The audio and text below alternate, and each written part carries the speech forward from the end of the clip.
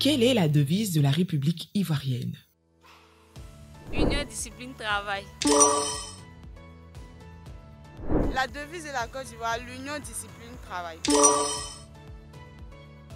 Quand on parle de devise union, discipline, travail, ça rappelle un peu l'unicité du peuple ivoirien. Parce que si vous venez en Côte d'Ivoire, vous allez savoir que les Ivoiriens, dans le sens, sont vraiment unis. Et qui parle de discipline pour montrer que nous sommes organisés. Qui parle de travail, on peut dire aujourd'hui que la Côte d'Ivoire est une nation de travail. Vous allez voir, nous avons des ponts, nous avons euh, des ponts à péage, nous avons le stade qui a accueilli cette année, euh, 2023, là, 2023-2024, euh, la Cannes. La devise d'un pays est une phrase courte et mémorable qui exprime les valeurs, les principes et les aspirations fondamentales de cette nation.